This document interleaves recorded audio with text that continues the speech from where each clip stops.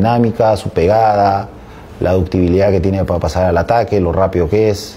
Tiene virtudes que las podemos intentar integrar a, a lo que ya tenemos como, como base.